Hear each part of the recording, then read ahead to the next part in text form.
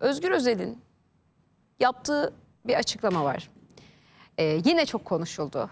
Onun da bir izleyelim, onu da bir ekrana getirelim o sesi. Neler söylemiş hatırlayalım, sonra da konuşalım. Gecenin bu sefer üçünde telefon çalsın. Darbe oluyor desinler ayağa kalkar fırlarım. Kim yaptığıyla ilgilenmem ama derlerse ki gençler yapıyor. Ama dedim bütün partideki gençler. 40 yaşın üzerindeki bütün siyasiler tasfiye olacak. 40 yaşın altındakiler bütün par- ben o darbeye teslim olurum dedim.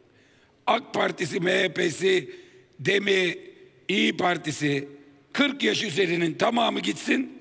Bütün partilerde 40 yaş altı siyasetçiler kalsın. Ben bu darbeye razıyım dedim. Gecenin bu sefer üçünde Kendisi 49 yaşında değil mi? yani Nasıl değerlendiriyorsunuz? Sümeyye Hanım kendisi 49-50 yaşında biri zaten. 40 yaşın üstündekiler siyaseti bıraksın diyorsa zaten bu konuşmayı yapmasına gerek Yok yok, ki. gençler gelip öyle söylerse diyor. E zaten Ee, söylüyoruz yani. Uyandı bir gece diyelim ki Sayın Özel ve işte 20-30 yaş arası gençler darbe yapıyorlar. Bırak dediler. Bırakacak mı? Bırakır mı? Yani bu, bunu demek istiyor değil mi? Doğru anlamıyoruz. Çünkü hakikaten cümleleri böyle dinlerken bu- bunu mu demek istiyor acaba diye böyle insan bir ikinci kez dinlemek istiyor. Yani Sümeyye Hanım darbe kelimesi kötü bir kelime. Evet. Kolay kullanılabilecek e, bir kelime değil. Pek tabii. Bizde duygusal olarak kırıklık yaratmış, üzüntü yaratmış. E, tedirgin edici bir kelime darbe. Bu kadar kolay e, kullanılabilecek bir kelime değil. Ve Türkiye'nin... Hani darbe, gençler o ikisinin bile aslında böyle yan yana geldiğinde ve işte bırakırım kelimeleri. E, ben ama söyle ben söylediğim şeyi e, bir kez daha söyleyeyim. Zaten 1 Nisan'dan sonra CHP Genel Merkezi'nde o 40 yaş altı mı üstü mü artık kimse e, o bahsettikleri onlar zaten CHP Genel Merkezi'ni geri almak için CHP Genel Merkezi'ne gelecekler seçim sonuçları açıklandıktan sonra. Bunun için darbe yapmaya gerek yok. Bunu görmek için de müneccim olmaya da gerek yok. E, 1 Nisan'dan sonra seçim sonuçları açıklandıktan sonra ee, gene muhtemelen çıkıp seçim zaferi kazandık vesaire diye e, bir konuşma yapacaktır CHP Genel Merkezi ama ben gerçek CHP'lilerin CHP Genel Merkezi'ni bu profilden ya da bu tip figürlerden geri alacağını düşünüyorum. Ee, bunun için darbe yapmalarına gerek yok. Ee, bu tür bir değişime delegeler de dayanamaz. Bu tür bir talebe o partideki yöneticiler de dayanamaz. Ben kitabın ortasından konuşmayı seven bir insanım. CHP içerisinde şu an aktif görevde bulunan herkesin istifa edip e, hadi seçim var vesaire o kadar da insafsız değilim. Ama seçim sonrasında herkesin istifa edip yeni kadrolara, yeni insanlara bunun yaşla da alakası yok ki. Yani yaşla alakası deseniz 49 yaşında söyledikleri seçim sürecindeki söyledikleri cümlelere bakın. E, Yani e, biz o zaman ne diyelim? Yani yaşın gelmiş e, kaça? E, biz neyi konuşuyoruz? E, bir la- laf vardır. Hani kimin söylediğine bakarsın. Bir ağırlığın vardır vesaire vardır. E, ben yayının başında ne dedim? Türkiye'de siyaset yapıyorsan e, ima eden, insanları rahatsız edebilecek, başka yanlış anlaşılmalara sebebiyet verecek cümleler kuramazsın. Evet. Türkiye'nin geldiği politik ortam da bu. E, gerektiği zaman espri bile yapamazsın. Ben normalde çok eğlenceli bir insanımdır ama AK ben Parti bile sözcüsü Ömer de konular- akıl tutulması dedi bu e, tabii cümleleri. ben bile bazı konularda çok iyi espriler hani izleyenlerimiz de gülsün diyebilecek espriler aklıma geliyor ama tutuyorum. Çünkü yanlış anlaşılabilir. Ama bir siyasetçinin bir de bir partinin genel başkanısın. Ya da Yani tam o lafın- anda ekran açılabilir öncesini bilmeyen biri Şimdi de. bakın biz bir başka bir yerde olsak e, şunu düşünür, herkes düşünür. Neyi? Ya bir darbe olsa demek ki temsil ettiği siyasi parti ve tabanı darbeye evet diyecek. Şimdi bunu, İktidara gelmiş olsa diyorsunuz. tabii bunu aksini söyleyebilecek e, bir kişi var mı? Ha, insanın aklına gelmemesi mümkün değil.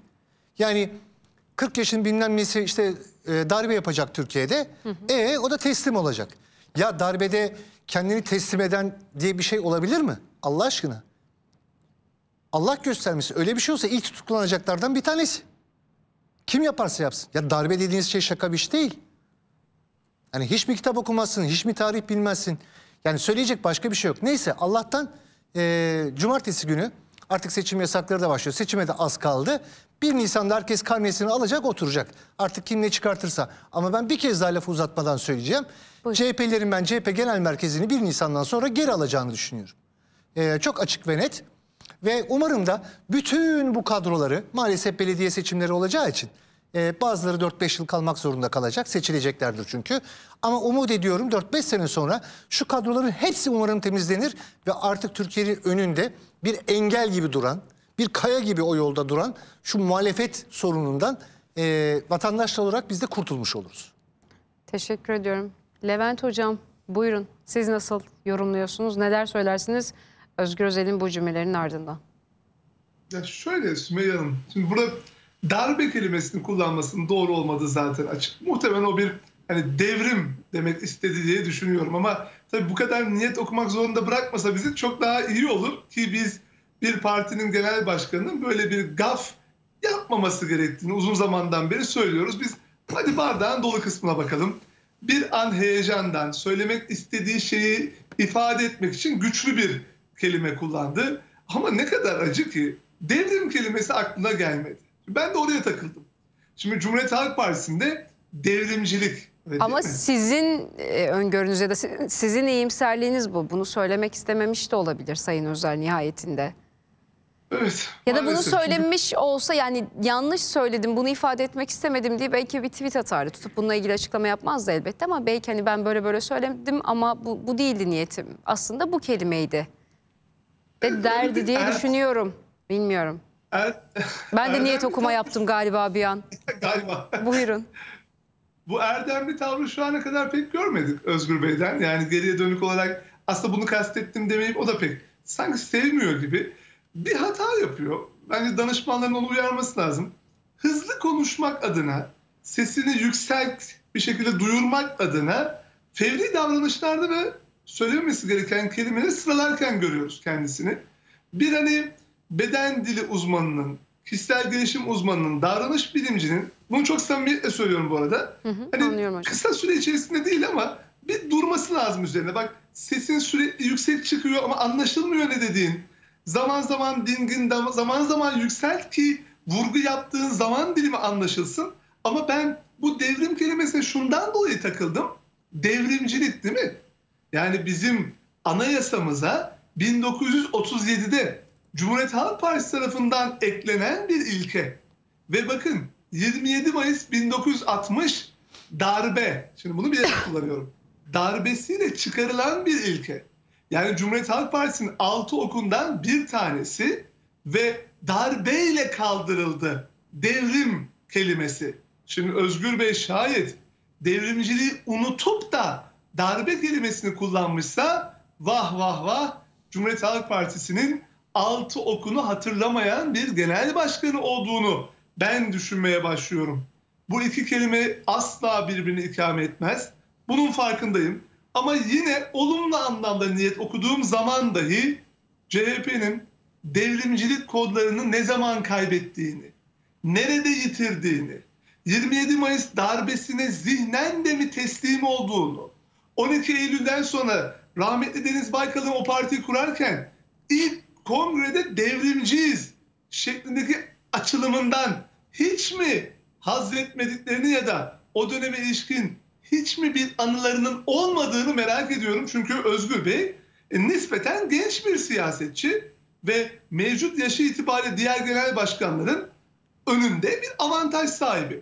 Ama çoktan devrimin kodlarını yitirdiği ve bunun herhalde yurtsever, ulusalcı, vatanseverlikten en ufak bir kuşkusu olmayan Cumhuriyet Halk Partiler nezdinde de yine bir kırık not ortaya koyduğunu düşünüyorum. Ha, bir ekleme yapayım. Mete Bey'e katılıyorum. Madem Özgür Bey'in aklında böyle bir durum var, e, öncüsü olabilir. Gayet de şık olur. Özgür Bey der ki çıkar 1 Nisan günü. Ben geçenlerde böyle bir söylemde bulunmuştum.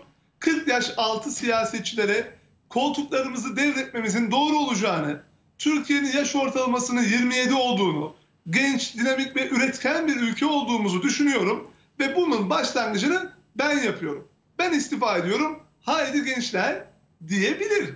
Bence de tarihe adını altın harflerle en azından bu konuşmalardan bağımsız birileri yazar. O zaman hodri meydan. Zaman zaman şunu duyuyoruz. Cumhuriyet Halk Partili belediye başkanlarının asgari ücretten yana kaygılar güttüğünü, genel siyaset yapacak cümleler kurarak işte bu maaşların böyle olmaması gerektiğine ilişkin bir kanaat ortaya koyduğunu görüyoruz. Ben de yine kendi adıma şunu söylüyorum. E o zaman önce olun. Hadi Konak Belediyesi önce olsun. Kadıköy Belediyesi önce olsun. Çankaya Belediyesi önce olsun ve desin ki ben işçilerime asgari ücret hak ettiklerini düşünmediğim için 30 bin liradan aşağı maaş vermeyeceğim. Haydi diğer belediyeler de beni takip etsin. Ama maalesef öncü olmayı unutmuşlar. Lider olmayı unutmuşlar. Grev yapılıyor. Bu Ne önce olması hocam? Grev yapılıyor. Grev. Bahsettiğiniz yerlerde Ya- belediye işçileri grev yaptı. Bırakın zammı. Özellikle özellikle söyledim konu Tabii. İzmir'de yaşanan Kadıköy'de grev oldu. İki, iki kere grev oldu. Durum bu. İşte unuttuğunuz zaman alışkanlıklarınız maalesef bu tip bir hani hezeyana dönüşebiliyor ve sadece cümlelerle sınırlı hayaller kurmak zorunda bırakabiliyor sizleri. Teşekkür ediyorum hocam. Mete Bey ekleyeceğiniz yoksa başka bir Var. konuya geçiyor. Bir tek şey var. Buyurun. Bu de- e, devrimcilik meselesinde e, ben üstada şöyle bir ekleme yapmak istiyorum. Şimdi e, devrim ya da devrimcilik e, kelimeleri sol e, tandanslı ya da sosyalist partilerde ya da e, bu görüşte çok sıklıkla kullanılan e, bir kavram. E, belki onlar kendi açılarından sosyalist bakış açısından e, onun içini doldurabilirler. Ama ben CHP'nin solla ya da sosyalizmle bir alakası olduğunu düşünmüyorum. E, öyle bir söylemi de olduğunu düşünmüyorum. Bir pratiği uygulaması olduğunu da düşünmüyorum. Ya, Olduğunu da bilmiyorum. Yani yok. Ee, yani CHP'nin neyi savunduğu ya da neyi savunmadığı konusunda da tereddütlerim var. Yani bir e, ideolojik olarak nereye oturtabiliriz'i bilemiyorum. Yani bir kısım e, Atatürk'ü e, övebilirken bir kısım PKK ile ilgili bazı söylemlerde bulunabiliyor. Bir kısım Atatürk almaları yapıp tuhaf görüntülere sebebiyet verip kamuoyunda e, bırakın yani Atatürkçülerin ya da Kemalist çizgideki insanların dahi yuh artık bu kadar da olmaz diyebileceği görüntülere sebebiyet veriyorlar. Hangi Atatürkçülük? Bir de bu var.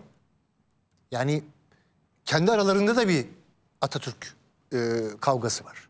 Hangi Atatürk? CHP'nin içerisinde şu an bir Atatürk yok. Yani Atatürk'ün kelimesinin geçtiği bir fikir, irade, görüş yok. İşte biraz önce sizin basın açıklamasında o kişinin e, Öcalan'la ilgili konuşmayı yapan kişinin Erdem'in. basın açıklamasında olduğu gibi artık cümlenin son paragrafına copy paste yani kopyala yapıştır yapılan Atatürk'ün açtığı yolda diye başlayan ya da Atatürk'ün e, mücadelesinde diye Atatürk'ün muasır medeniyet. Ya bu cümleye mutlaka bir yer vereceksiniz. CHP'nin bütün açıklamalarında bu var. Bunu koymak zorundasınız. Ama sadece bu. Yani kağıt üstünde bir copy paste metin var. O paragrafı yapıştırıyorsunuz sürekli. Hadi Yani geçelim her şeyi de yapıştırabilirsiniz. 1 Mayıs olur, 23 Nisan olur, seçim günü olur, işte kutlama olur, Ramazan bayramı olur. Yeter ki oraya bir paragraf yazın. Ya bunlardan da artık insanların sıtkı sıyrıldı, usandı. Ee, söylüyoruz ee, ama 1 Nisan günü seçim karnesi geldiği zaman göreceğiz hep beraber. Evet. Yine muhtemelen bolca da konuşacağız zaten. Tabii kesinlikle, tabii. TİP'in Hatay'da adaylığını çektiği Gökhan Zan'la ilgili bir haber paylaşacağız sizlere. Tartışmalar sürüyor bu konuyla ilgili bildiğiniz üzere. CHP Genel Başkanı Özgür Özel, Zan'ın adaylığının çekilmesi için şöyle bir cümle kurdu. Şaşırmadım. Bizden de Defne ve Arsus'u izledi zaten. Zansa Özgür Özel ve Ali Mahir Başarır adaylıktan çekilmem için Defne ve Arsus'u teklif etti dedi. Bu haber gelsin konuşalım. Maalesef yoğun bir tehdit ve şantajla karşı karşıya kaldım. Ses kayıtları ve 3 milyon dolarlık para pazarlığı iddiaları, tipin Hatay'dan adaylığını geri çektiği Gökhan Zan'la CHP Genel Başkanı Özgür Özel arasında adaylık polemiği başladı. Daha önce Lütfü Savaş ve CHP'nin adaylıktan çekilmesi için baskı yaptığı Zan için Özgür Özel CHP'ye kaybettirecek demişti. Bu açıklamadan kısa bir süre sonra tip Zan'ın adaylığını çekti. Tipin bu kararı sonrası konuşan Özel şaşırmadım dedi. Zan'ın CHP'ye gelerek adaylık başvurusunda bulunduğunu söyleyen Özel, Hatay Büyükşehir'i istedi. Büyükşehir olmazsa Defne'yi verin. Ben Lütfü Başkan'la uyumlu çalışırım dedi. Defne olmayınca da Arsuz'u istedi açıklamasında bulundu. Gökhan Zansa adaylıktan çekilmesi için Özgür Özel'le CHP Grup Başkan Vekili Ali Mahir Başarır tarafından iki ilçe teklif edildiğini iddia etti. Zan, Özel'in kendisine Lütfü Savaş'ın boşluğunu ancak seninle doldurabiliriz. Defne ya da Arsuz'dan birini verirsek çok iyi olur. Bunu kabul eder misin dediğini açıkladı. Tüm halkımıza çok teşekkür ediyorum. İyi ki varlar. CHP Hatay adayı için büyük bir kriz yaşamıştı. Lütfü Savaş'ın adaylığını duyuran Özel gelen tepkilerin ardından karar değişikliğine gideceği sinyalini vermişti. CHP, Haluk Levent ve Aylin Kotil gibi birkaç isme teklif götürse de bu kabul edilmemişti. Savaş ise anketleri öne sürerek adaylığında ısrarcı olmuş, aksi durumda seçimlere bağımsız olarak gireceği tehdidinde bulunmuştu. CHP'de yapılan uzun görüşmelerin ardından Savaş tekrar aday gösterilmişti. Levent Hocam önce sizinle başlayalım. Bir de e, bir açıklamayı da hatırlatalım. Tip Genel Başkanı Erkan Baş'ın e, ZAN için diyor ki ZAN arkadaşlarımıza geleceğimi düşünmem gerekir demiş. Özgür Özel'in de şöyle bir cümlesi vardı. E, hep bizdeki belediyeleri istiyor. Yani AK Partili belediyeleri bana verin demiyor. Hep bizde olanları garanti belediyeleri istiyor diyor ZAN için. Buyurunuz hocam. Kupon belediye kavramı galiba değil mi? Son dönemde maalesef siyasetin gündeminde. Evet, kolay belediyeler var. Bazı yerlerde kişiler kimlikten kaynaklı olarak bazı yerlerde henüz tam olarak ne olduğunu bilmediğim yaşam tarzıma dokunulmasın şeklinde bir kaygıdan dolayı oy vermeyi tercih etmeye devam ediyor. Yani çöplerinin toplanmıyor olmasına aldırış etmiyor, sokakların kokuyor olmasına aldırış etmiyor ve ben burada bu halimden gayet memnunum şeklinde bir yaklaşımla oy vermeye devam ediyor. Ve Gökhan e, bir milli futbolcu olarak depremle beraber çok derin acıları paylaşan önemli isimlerden bir tanesiydi ve hızlı bir şekilde siyaset yapma kaygısı olduğunu açık bir şekilde ortaya koydu. Ardından birkaç parti gezdi. Çok kısa süre içerisinde bunu başarabildi ve bir yıl içerisinde İyi Parti, Cumhuriyet Halk Partisi ve Türkiye İşçi Partisi saflarında yer almayı başardı. Şimdi bu üç siyasi partiye baktığımız zaman ideolojik olarak birbirine çok da yakın siyasi hareketler olmadığı gerçeğini görüyoruz. O zaman ya bu kadar oportunizmin bir miktar fazla olduğunu düşünüyorum. Bu denli bir faydacılık analizi üzerine bir siyasi ideoloji bina ediyor olmak ki Gökhan Zanda genç bir aslında siyaset adamı diye söyleyelim artık Evet. milli futbolcu çok büyük kırgınlıklar yarattı, kırıklıklar yaşadı karnesinde ve döndü Türkiye İşçi Partisi'nin onu artık aday olarak görmek istemiyor olmasına aldırış etmeden ben hala adayım ve devam etmek istiyorum şeklinde bir beyanda bulundu. Eğer maalesef o telefon konuşması montaj değilse, telefon konuşması hakikati yansıtıyorsa işte 3 milyon dolar, 5 milyon dolar gibi rakamların konuşuluyor olması oldukça üzücü ve bir belediye başkanlığı adına ya da sadece kendisini belediye başkanı adayı olarak lanse etmek adına parasal bir pazarlığa oturduğu gerçeğini bir kere daha geri dönüyorum. Bir yıl önce bize depremle ilgili o haberi veren kişilerden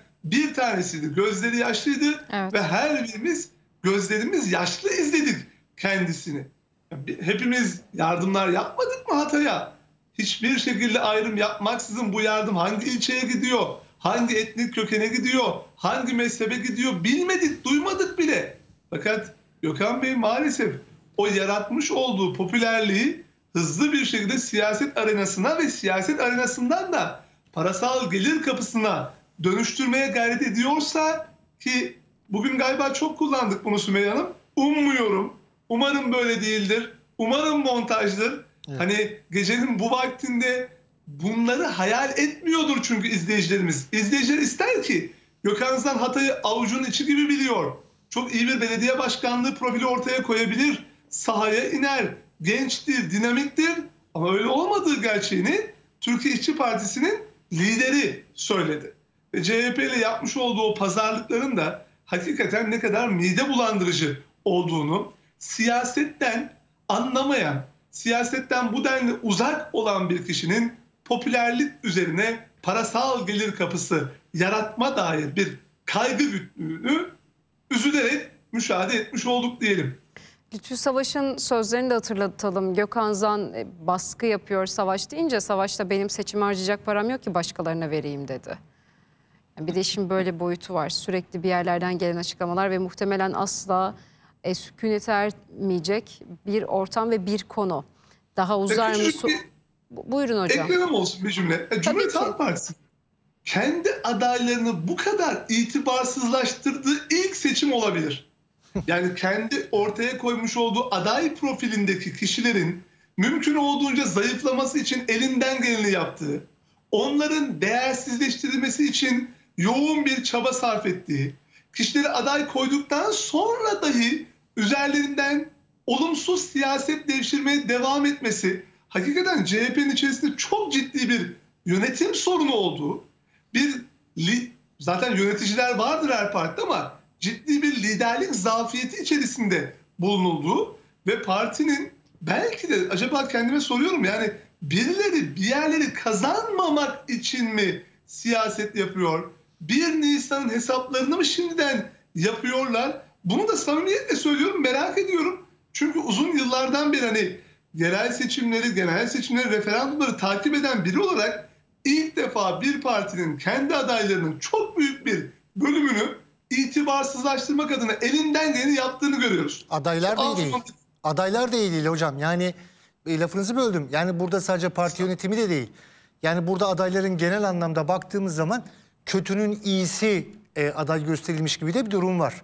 E, bunu da açık söylemek gerekiyor. O yüzden bahsettiğimiz isim de e, aslında bunlardan bir tanesi. Kötünün iyisi. Yani profili olarak gerçekten düşük. Toplumun beklentilerini karşılama konusunda gerçekten yeterliliğe sahip değiller. E, ve aynı zamanda e, belediyecilik e, meselesi hadi ona da girmeyeyim ama popülist işte oyuncunun vesairenin aday olabildiği ya da orada işte tanınıyor en azından hani oradan belki bir şey sağlarız mantığıyla aday gösterilmiş birçok isim var. E, ve bunların e, bir Nisan'da karnesini aldığımız zaman e, umarım benim söylediğimi hatırlarsınız çünkü profil gerçekten pek iyi bir profil değil. E, bunu da size Maalesef. ek yapmak istiyorum. Haklısınız. Bir de şöyle bir gerçeklik var. Örnek veriyorum. Afyon'daki aday Burcu Hanım. Dört dönemdir Cumhuriyet Halk Partisi milletvekili. Gençlik kolları siyaseti yapmış. Kadın kolları siyaseti yapmış. Ve bir şekilde siyasete hani emek vermiş. Fakat İstanbul'daki başka bir aday çıkıp Burcu Hanım kendisine başka bir parti bulsun diyebilecek cesareti nereden buluyor? E o zaman ben dönüyorum ve diyorum ki Cumhuriyet Halk Partisi tüzüğünde köklü bir değişiklik yapalım. CHP'nin genel merkezi Ankara değildir, İstanbul'dur desinler. Herkes rahatlasın. Çünkü gelinen nokta maalesef artık eş başkanlık cümlesinin hani sadece bir tebessüm yaratmadığı, tam tersi dramatik bir durum haline geldiği bir çizgiye bizi getirmiş vaziyette. Umarım bunun hesabı temiz bir şekilde ve 40 yaş altındaki siyasetçiler tarafından görülüp Cumhuriyet Halk Partisi yeniden o Özgür Özel'in hatırlamadığı altı oklu siyasi çizgiye doğru yaklaşır ve seçmen için de bir alternatif ama milli bir alternatif haline gelir. Ben de umudumu paylaşmış olayım Sümeyye Hanım. Ben bir detayı izninizle Sümeyye Hanım e, bahsetmek isterim. Bakın burada ama e, herkesin belki de unutabileceği bir detay var. Burada e, Türkiye İşçi Partisi'nin yani tipin tutumu. E, şimdi sol gelenekten gelen e, partilerde bu tip durumlarda destek çekme e, açıklaması e, elde bir bilgi belge vardır. Parti kendi içerisinde bir soruşturma yapar ve ondan sonra istişare diyebileceğimiz konunun gündeme getirilmesi ya da parti yönetiminin fikirlerini beyan ettiği bir masanın etrafına toplanıldıktan sonra ortak bir iradeyle e, Türkiye İşçi Partisi'nin yaptığı gibi desteğin çekilmesi konusunda bir irade ortaya çıkar ve bunu da bir e, basın açıklamasıyla duyururlar. Şimdi sol gelenekte Türkiye İşçi Partisi'nin yaptığı belki de ki belki de son yıllarda e, muhalefet demiyorum solda yer alan e, partiler içerisinde kendi içinde çok tutarlı, ilkeli ve omurgalı bir davranış. Ama ben bunun e, o süreçleri az buçuk e, tahmin ederek söylüyorum. Ben Türkiye İşçi Partisi'nin partisinin partinin zarar görmemesi adına bunu çok iyi delillendirip altını çizerek söylüyorum. Delillendirip kanaat getirdikten sonra böyle bir iradeyi kamuoyuna açıkladıklarını düşünüyorum. Yani Türkiye İşçi Partisi şaibe de olsa, dedikodu da olsa vesaire Yani gibi... peşin hüküm değildir. Ardı arkası Ara- araştırılmış. tabii sol yani sol gelenekte araştırmadan yani şaibe de olsa e, nettir. Yani kesersiniz ilişkiyi. Zaten bundan sonra Partiye zarar vermemek adına. e, partiye zarar vermemek adına, tabana zarar vermemek adına çünkü Türkiye İşçi Partisi biraz detaylı baktığınız zaman diğer muhalefet partilerinden ziyade fikri anlamda, e, iktisadi olarak, kültürel olarak, işte sosyolojik olarak birçok e, alanda program hazırlamış ve ona e, uygun bir şekilde bir siyasi e, yürüyen bir hareket. Ve tek bir lider üzerinde mesela Erkan Baş'tan bahsettiğiniz için söylüyorum. Evet. Erkan Baş'ın tek başına aldığı bir karar değil. Parti e, kurumlarının ortak aldığı, ortak istişare ettiği, ortak bir akılla e, alınmış bir karar. Ama bunun sonucunda şu an ekranda gösterdiğiniz kişi e, Hatay bölgesinde siyasi olarak çok ciddi bir dışlamayla karşılaşacak. E, çünkü sol gelenekte böyle bir e, desteğin çekilmesi ya da böyle bir şeyle e, anılması siyasi anlamda kariyer e, beklentisi varsa şu an o kariyeri bitmiş durumda. Bunu açık ve net bir şekilde söyleyeyim. Tamamen bitmiş durumda. E, çünkü bu bir dışlanmayı getirir. Bir izolasyonu getirir. Siyasi olarak ve toplumsal olarak. Çünkü her ne kadar e, eleştirilen şeyler olsa da bunu Hatay gibi deprem geçirmiş, çok ciddi acılar çekmiş, e, üzüntüler çekmiş, kalbi kırık insanların e, affetmesini beklemek ya da zamanla unutur gibi bir e, sürecin arkasına sığınar, sığınıp e, ben hazmedeceklerini düşünmüyorum. Şimdi Siyaseten bitmiştir. konuşurken e, şeye baktım. Bitti yani sosyal siyaset. medya hesabından değiştirdi mi acaba diye. Özel. E, Şey özel diyorum. e, zan. Baktım ki hala işte tip belediye başkan adayı yazıyor. Ya, do- çok güzel ama e, Türkiye İşçi Partisi e, örgütlüdür.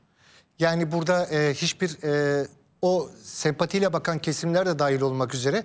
Aa işte sosyal medya hesabından hala öyle gözüküyor. e, o zaman gideyim ona oy vereyim. Ben öyle bir kitle olduğunu düşünmüyorum. E, çok açık ve e, net bir şekilde söyleyeyim. E, bu siyasi olarak e, Türkiye İşçi Partisi ile uyumluyum ya da uyumsuzum, sempati ya da antipatik geliyor anlamında değil. Gerçeği konuşmak gerekiyor.